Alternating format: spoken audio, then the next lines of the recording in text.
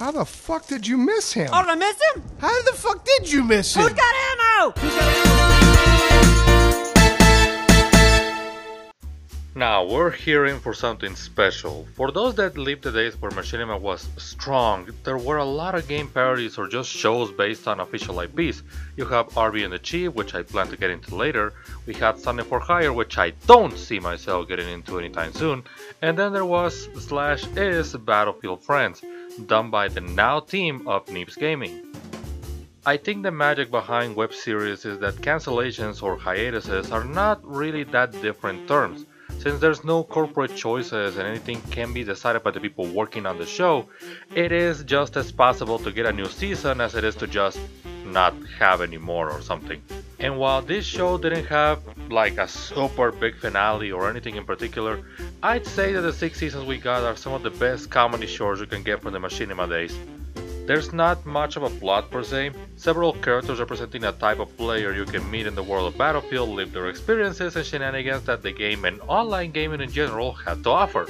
Just turn your mic off. Yeah, we turn wouldn't your yell mic at off when you're eating. if you weren't eating. Okay, regular Zavod. Oh, Regular Uh, Zavod. yeah, I'm I fine like with regular Zavod. Zavod. Okay, Yeah. Zavod 311 it is. Oh shit! Look at this.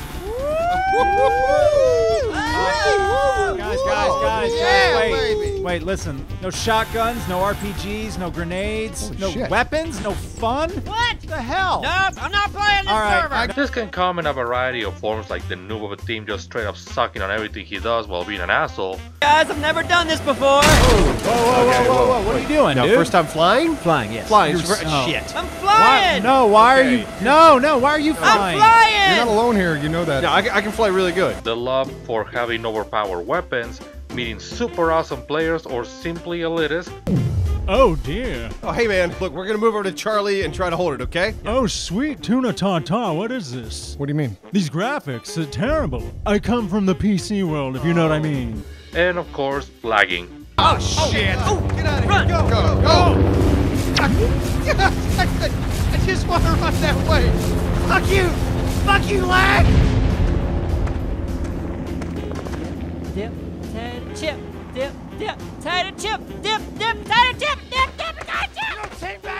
And some of you might be thinking, what's so special about this here in 2020? We've always seen this kind of characters. In fact, we're still seeing them to this day. Well, much like most of the good gaming channels with more than one person involved, the fun doesn't come from what they do, but their dynamic while doing it. The animation is pretty much puppet style. You see the elements moving through tweens with not that much drawn in between. However, it is compensated with a pretty well detailed art style that matches this kind of animation. And when it comes to the writing, despite focusing on the Battlefield franchise, as someone that didn't play those games until after watching the show, I can say that if you're just a player of first person shooters, you will be able to understand and enjoy about 80% of what the show has to offer. With the other 20 still being enjoyable, don't get me wrong, but with some Battlefield specific elements that will make you wonder What's what do you mean? He wants to know what you mean. What do you? What do you, what do I mean? What class? The characters are definitely the stars of the show. They're not super complex, if anything, they literally represent archetypes of the series. They're literally called Noob, Engineer, Medic, Recon, and Colonel, who is used the right amount, and he is one of the best characters. Prioritize. Prioritize like what? Like what? You guys have jobs. Yeah, I mean, Yeah. Both wrong answers.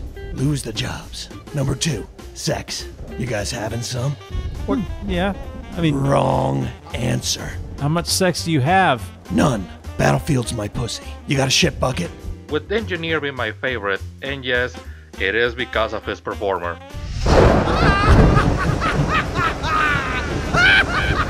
I am a god holding the RPGs of Hey, you're not a god. We all got them. well, oh, everyone's house one. But I still love all of the characters, with Noob being kind of the weakest personally. Don't get me wrong, he's still good, but when he's just stubborn and whiny despite clearly not be good at the job, it gets old for me really fast. You know, No, when, you, when, when you die, you get teabagged, right? What? Yeah, if the guy that killed you is a fucking asshole. Yeah, he might have been. I don't know. But this guy died. I teabagged him. Guy's on our team. Don't even. Yeah. Don't even. Guys start, on our don't, no. fucking Don't team. even Yeah. start. Don't know. So, are we on the same page? No, I'm never on the same page with you. I'm like 10 pages ahead Listen. of your dumbass. You can say the same about some of the gags they bring, but the Colonel gives time to breathe, as well as the OP weapon and elitist. And when they happen, it happens among other groups of the cast, but the noob jokes are obviously just a noob. Well, you can say that Simon counts as the other noob, but again, it's just on the same focus, like it's just those two.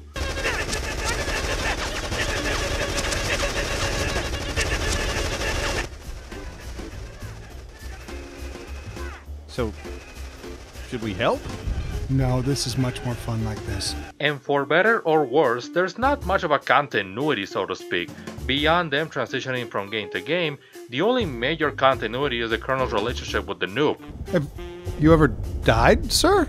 I don't think so. Oh, wait. There was this one time back in Battlefield 3. Took out a couple of Nancy's, the chopper, jumped in the pilot's seat, boom. Next thing you know, all I could see is this parachute off in the distance. I can hear the screams now. Promoted. Promoted. Like I mentioned in my Rage Cup review, comedy is a very subjective thing to discuss in a critical format, but the major dynamic here is the action-reaction formula they have. Whenever one of the characters does something, the other ones immediately react in an exaggerated form. And since it's a video game, acknowledging there are all people playing games so all the shit that happens doesn't end into a malice situation. And I may have my minor dislikes to Noob's attitude, but like I said, he has been able to make me laugh from time to time with some of the best quotes from the whole show. Where's the explosion?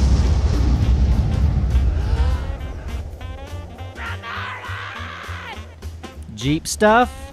Jeep stuff. You stole my Jeep stuff? what the hell is Jeep stuff? You know what Jeep stuff is. I don't. If you I know I would expect this from Medic, but from you? What the fuck is that supposed to mean? explain what Jeep stuff is, so I fucking know what it is! Jeep stuff, it's right there on your belt.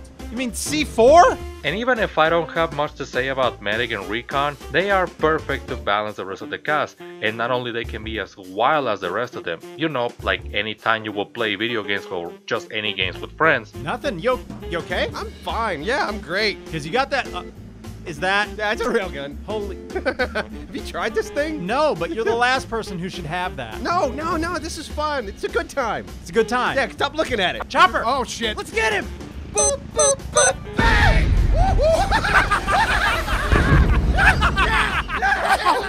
yeah, baby! Guys, guys, guys. Calm down. There also needed to be the closest to a down-to-earth character in this world of jackasses. Oh, no. Dude, don't be ashamed of that, okay? If anyone's hating on you, just ignore them, dude. They're just jealous, man. Embrace it. You know what I mean? They're jealous. Really? You think it's just jealous? Oh no, fuck no. You're a fucking loser, man. Get a life. While I'm sure both Battlefield 1 and 5 could have given them enough content for a new season, especially with whole political aspects on both Battlefield and gaming in general, but I'd say the ride was pretty good and worth every episode. Sadly, a major chunk of the episodes got missing after this appearance, for better or for worse, of Machinima, and the section dedicated to animation, Happy Hour. In fact, I also miss Happy Hour Saloon, that was also some stupid fun, although yeah, saying goddamn every 3 minutes wasn't always fun. Carl the circus clown. Oh my God, it's the Joker. Battery attack, motherfucker.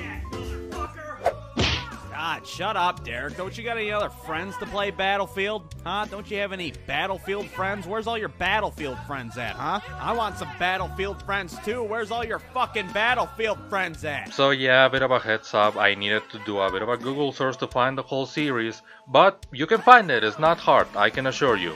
And you know what? I think the ride was worth it. The Neebs gaming team is simply doing other projects in some areas that are just better things than what we had before. But whenever I feel like, I can just pack my cheap stuff, set the bipod on my knife, and enjoy one nostalgic and great hell of a time.